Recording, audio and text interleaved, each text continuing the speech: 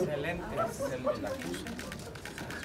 Y aquí viene el oficio de turno y ahí, exacto. Lo ponemos aquí, ¿no? Sí. ¿Cómo ves? Esta es una muy buena solicitud de reforma.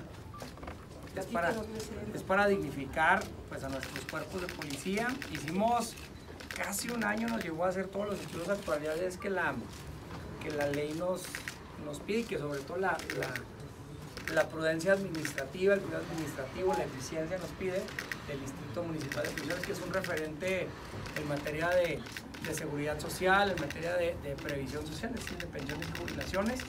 Yo creo que de verdad la mejor institución del Estado, sin duda alguna, de las mejores del país, ¿verdad? El servicio médico que cuenta el municipio.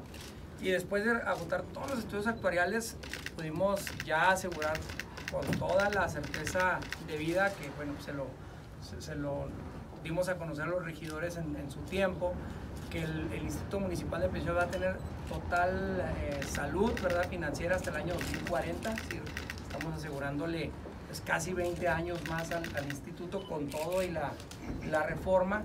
Evidentemente, bueno, pues en algunas administraciones más adelante se tendrá que prever esta situación y, ir mejorando y actualizando reglamentos como se ha venido haciendo en, en, en, administraciones pasadas, ¿no? Entonces, lo que estamos proponiendo es reducir la edad de policías y bomberos a una jubilación de 30 a 25 años que nos permita o que les permita a ellos, bueno, pues jubilarse a más temprana edad, disfrutar pues con más tiempo, con más salud a su familia, ¿verdad?